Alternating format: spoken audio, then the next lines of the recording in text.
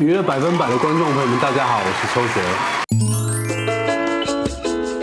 由邱泽、李立群、董洁、翟天临所主演的温馨家庭剧《幸福一家人》即将在八大第一台播出啦！这次百分百独家访问，在剧中饰演外表有些冷酷，但内心却非常柔软的医生大儿子邱泽。话说在拍这档戏的时候，刚好也是邱泽爸爸过世一年，面对这样的时刻，又是父子情感超重的剧情，让邱泽有这样的感觉。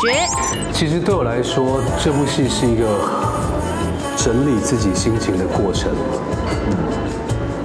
那父亲离开之后，其实后面的这段时间，有大部分的时间都在工作，那你很难真的静下心来把这件事情好好的整理一遍。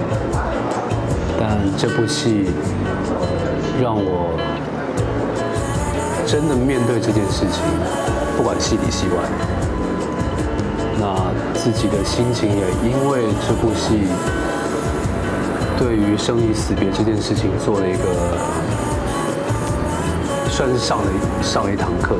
和李立群老师的对手戏也让邱泽非常难忘。我跟李老师对戏的第一场戏是在医院，检查完报告出来，我是第一个知道他生病的那一瞬间。那是我们第一次对戏，那是我们第一场戏。然后那场戏我到现在印象还很深刻的是，我们一起做完报告出来，坐在一个长椅上面，医院的走廊的长椅上面。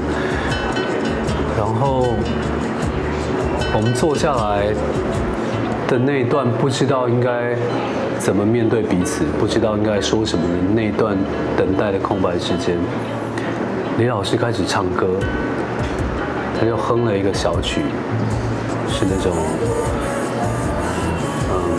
像京戏的那种小曲，一个表面上看起来很轻轻松松，可是其实，在对戏的过程里面，那个对我的力道还蛮大的。是说剧中内心纠结都往肚里吞，私底下的邱泽也是如此吗？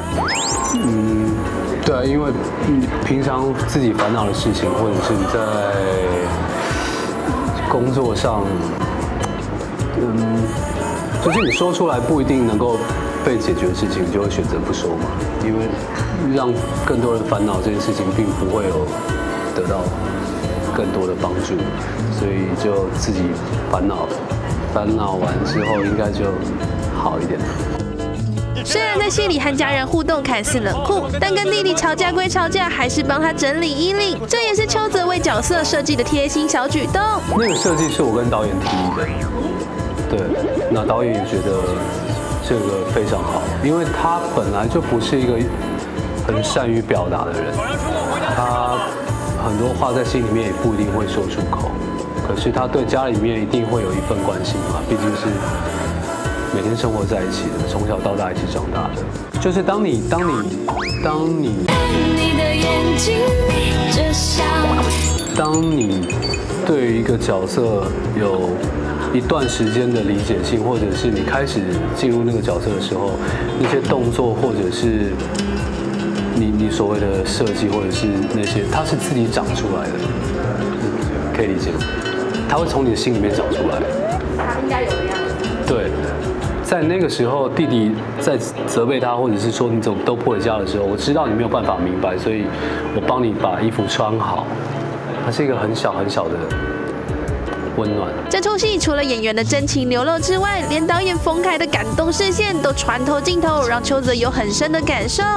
导演真的很在戏里面的时候，那个那个温暖跟那个关注度是可以透过镜头知道他现在正在看戏，就是他的那个力道是会从镜头后面传过来的。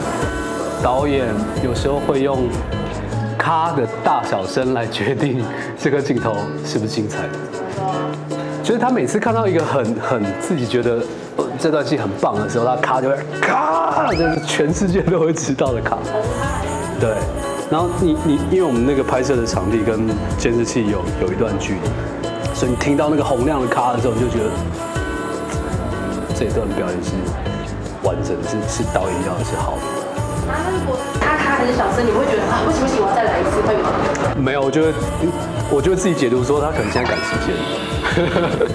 幸福一家人，是一部充满温暖、亲情，还有爱情、友情，是我们现代的社会里面大家都会遇到的家庭问题。